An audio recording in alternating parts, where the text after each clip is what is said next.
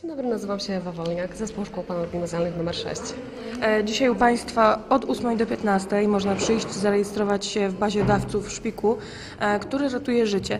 Mm, Jak wygląda rejestracja? Powiedzmy, że my chcemy się zarejestrować, chcemy dać ten szpik, co robimy?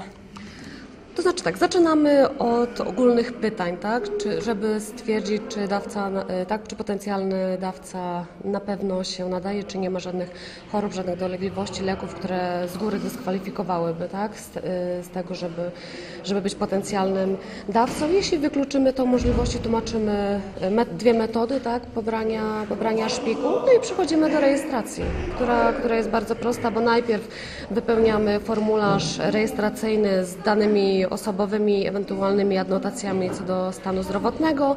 E, oczywiście wszystko tak jest e, tutaj objęte ochroną danych, danych osobowych. Dane te trafiają tylko i wyłącznie do fundacji, reszta jest e, zupełnie, zupełnie anonimowa, tak? ponieważ nasze dane potem też trafiają oczywiście i, i za granicę, w inne miejsca, tak? ale ale oczywiście tam już, tam już w formie zupełnie, zupełnie anonimowej. E, A następnie przechodzimy do, do pobrania materiału genetycznego, czyli to jest nic innego jak pobranie wymazu e, z błąd śluzowych e, na, na tak, pałeczkę z wacikiem. Dlaczego ta akcja tutaj została w ogóle zorganizowana?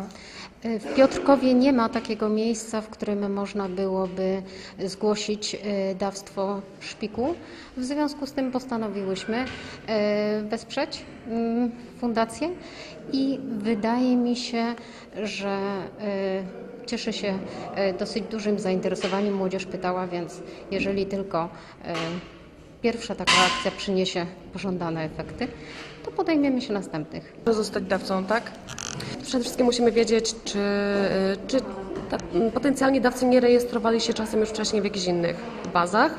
Jeśli to wyeliminujemy, e, to zadajemy pytania na temat jakichś przewlekłych chorób, przyjmowanych leków, e, przebytych operacji i o choroby, które tutaj mamy wymienione na, na liście.